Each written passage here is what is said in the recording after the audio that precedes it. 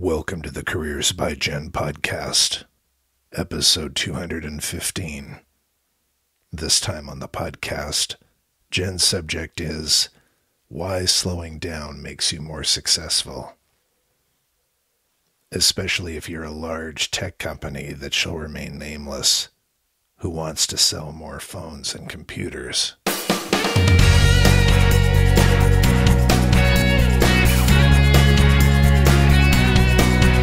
You're listening to the Careers by Jenn podcast with me, Jenn Swanson, the podcast that helps you to get the job, love your work, and advance your career.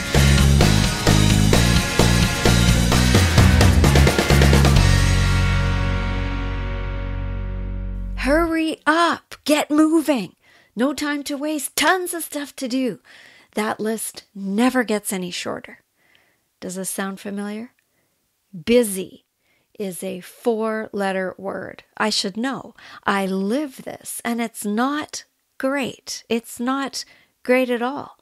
Find out in this short and quick episode why slowing life down can actually make you more successful. Are you procrastinating? Do you want to start a job search but aren't quite sure where to begin? Is it all just a little overwhelming? At Careers by Jenn, we have a five day Jumpstart Your Job Search challenge to help you get unstuck and move toward finding your dream job. Every day for five days, you'll receive an email to your inbox that asks you to complete one task. Every task you complete moves you closer toward your goal. The best part about this challenge is that it's absolutely free. Come over to careersbyjenn.com and you'll see the five day Jumpstart Your Job Search challenge on the right hand side of the screen. Click on the image of Jenn, sign up with your email address, and you'll be five days closer to reaching your goal. Why wait when you can get busy? Visit careersbyjenn.com after this podcast.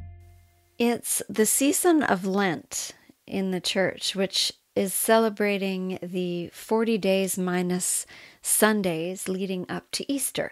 And traditionally, people would give up things they enjoyed as a form of penitence, like chocolate or sugar or wine. What the heck?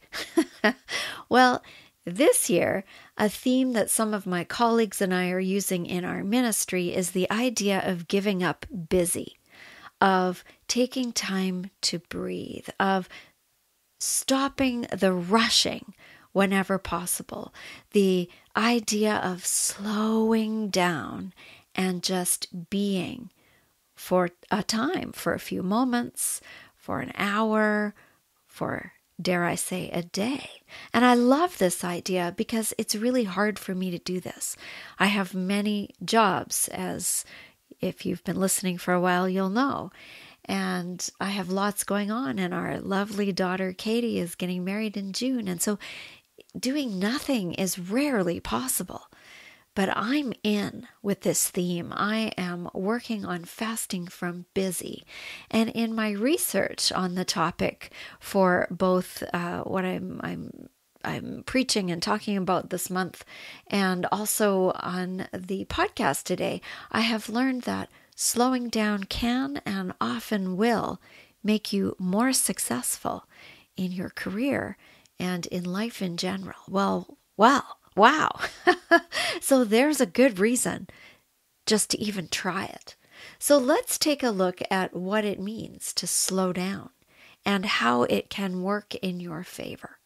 So let's start with time, with slow and steady. Often we want everything and we want it now right? We've got fast food, we've got fast fashion. We're we're not happy when it takes a moment for a page to load when we're searching something in uh, in our search engines. We want everything yesterday. But some things, like success, involve a long, slow evolution of learning that's not so sexy, that's not so exciting. It's a long, slow evolution of learning and of growth. And this takes time. And even taking time to name what it is you want is a way to start this long, slow evolution, this long, slow process, and then making a plan as to how you achieve this growth and this learning and this goal. This also takes time. Planning takes time to put together. Successful people set goals and set aside time to really solidify these goals rather than rushing ahead and hoping it will all just work out miraculously. Successful people set up environments whereby they can slow down at times to to dive in, to look after themselves and to allow space for creativity and ideas to emerge. I can rush with the best of them, but truly great ideas and truly solid plans are hatched when there is spaciousness and when there is time to slow down and to dream a little. I think in our society we've lost the ability to honor and value that time just to dream, that time to imagine. It's all about productivity. It's all about how much we can accomplish in a day and and it's it's less these days about discovery and imagination and I think that's really sad. Busy is not a badge of honor anymore. In fact, I'm embarrassed to say it as often as I do when people ask how I am and my my first response is automatically, "Oh, I'm so busy." You know, I would prefer to not be as busy as I am and to be able to enjoy life instead of feeling like I'm an observer watching it zoom past. So, fasting from busy, I think it's a great idea. And I'm going to work very hard this next while on making it happen. Another thing that can help slow us down and that can lead us to success is consistency and is developing good habits. Consistency and the development of good habits can breed success. And as we know, habit building takes time. You need to slow down to be able to do it. Doing something once or twice does not a habit make, right? Regular, repetitive, consistent action that at first has to be so intentional because you have to actually think about it until it later then becomes that neuro pathway pattern in your brain and then it becomes unconscious. That is habit. But at the beginning, it's remembering and it's determining that you're going to do this thing, whatever this thing is that you want to have as a habit. So, what would you like to do on a consist- consistent basis that you can intentionally begin today and then repeat regularly until it becomes an unconscious habit? What one thing would contribute to your overall success if you started doing it on a regular basis. There might be a few things you would like to do, but just start with one thing for today. And in time, it will be what you just automatically do. Consistency, habit, repetition. This takes time, but it's worth it because it leads to success. It is an example of slowing down to do this thing whatever it is, this habit that you want to instill, that will be worth it as far as your success goes eventually. Another thing is to focus, to zero in and complete a task to its finish. Have you ever been doing six different things all at the same time and you get all of them partly done, but nothing completed? I know I do this a lot and it's really frustrating. It leads to a lot of unfinished tasks. And then at the end of the day, there's nothing that I can check off my list. And I am a list checker. I have lists everywhere. I have electronic lists and paper lists everywhere. And I have to check things off to feel accomplished. So, not slowing down to focus on one thing and then and just flitting about doing six or seven things leaves me unsatisfied. It leaves me anxious.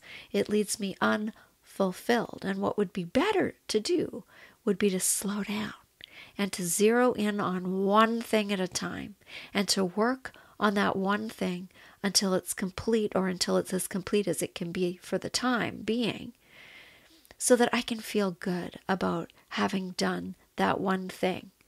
And I can then leave that thing physically and mentally almost more important, and move on to the next task or the next item. It's more efficient in many ways to work this way and it can actually accomplish more in the end than bouncing around from one thing to the next. So the recommendation is to slow down, to focus, to zero in, to double down, whatever cliche you want to use, and get something accomplished to its finish or to the finish point of that section of it if you're doing a great big project. And, uh, and the only way to do that is to slow down, but it will get you to your success much more quickly. The next thing to remember is the big picture. Try not to get bogged down in the details. It takes time to complete a major goal, as I've said before, but if you keep your eye on the big goal, if you if you look at the big goal, the big picture every once in a while, you get inspired. And you'll remember that you'll get there one little step at a time. This is similar to the focus and advice, except that every once in a while it's good to lift your head up and look at that big picture and remember why you're doing this task that is before you that is big and and to remember how the task that you're doing right now relates to the bigger picture or to the bigger goal i was frustrated recently by the box and i still am by the boxes and boxes of stuff that we brought back into our home after emptying a storage locker that we had rented for a renovation project. We took on, as some of you know, a big renovation project a long time ago, like over a year ago. Um, and we had to move everything out of the bottom section of our home, the basement of our home, into a storage locker so that that whole section of our home could be renovated and turned into a uh, basement suite for somebody else, a little apartment. And um, and we had we had taken everything to the storage locker and now that the project is done, we brought everything that was still in the storage locker back. We've gotten rid of a lot of things, but we brought a lot of it back.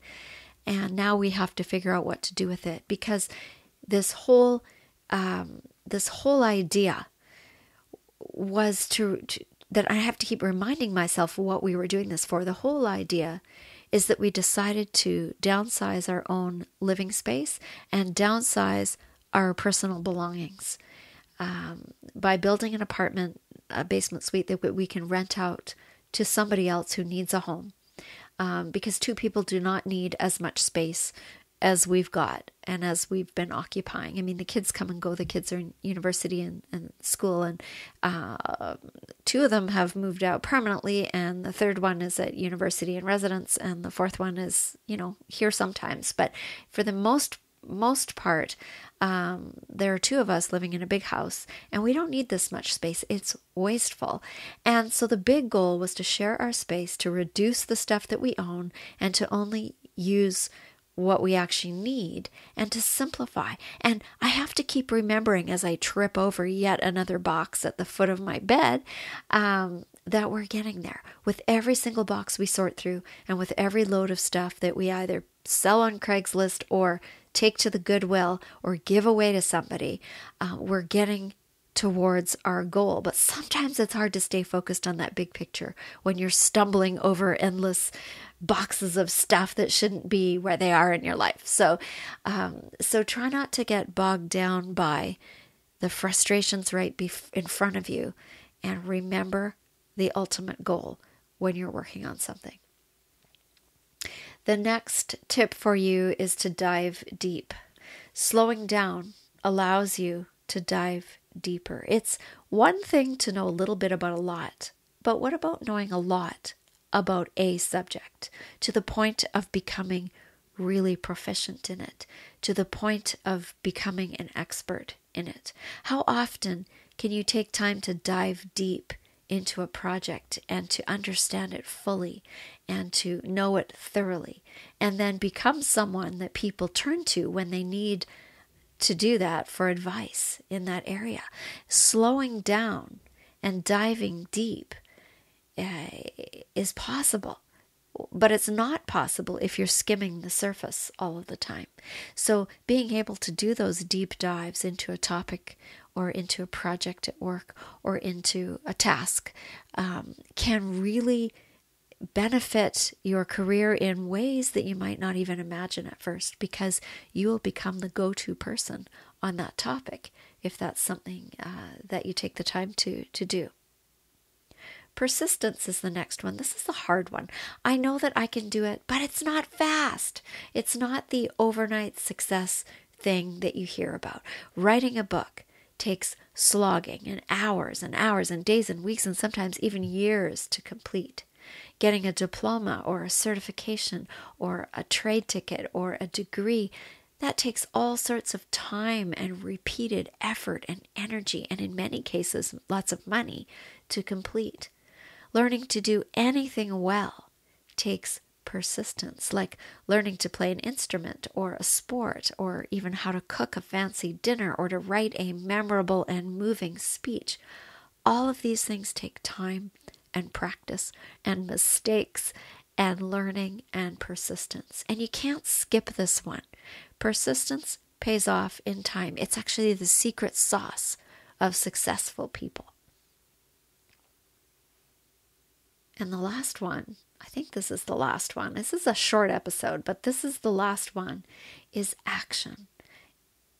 Imagining success is one thing, but it's only going to remain a daydream unless and until you take action.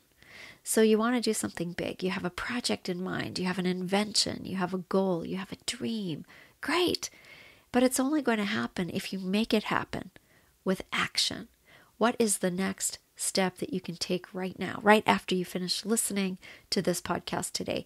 What is the next step that you can take toward that thing that you want to do? There is one thing you can do right now toward it. So, what is that one thing? And when will you take that step? What will you do? And when will you do it? Successful people have done these things. They have slowed down and they have given time and effort to the subject that they are successful in. They have taken repeated action. They have been consistent and very persistent. They have dived deep into their subject area, and they have done so with focus and with an eye always on the bigger picture. These are the things that make a person successful, and they only work when you slow down and take a breath and focus. So, what about you? Will you join me this next few weeks in fasting from busy and in slowing down in order to increase your success at work or in life? You will find when you slow down, you notice more, you learn more, you grow and you change. You might even just rest. You might heal on the inside if you're stressed and anxious and worried. Maybe you need to slow down a little bit and take a breath because being a healthier you will make a more successful you. You will make fewer mistakes if you slow down, and actually, you will progress faster, which seems paradoxical, but it's true. You'll progress faster when you slow down than if you try to zoom toward your goal without putting in the time and the effort or the toil and the tears, as some would say. Busy is a four letter word, and I hope for your sake that you just stop it. Until next time, remember to breathe. You've been listening to Careers by Jenn with Jenn Swanson. If you like what you heard, please share this. You know, if every single person listening today shared this episode with just one friend, our audience would be twice as big just like that. And the more people we can help with our content, the better. So help out a friend and help grow our audience by sharing this show with someone you know who would benefit from the content. If you haven't subscribed yet, please do that, and together we can make a difference. Until next time, take good care.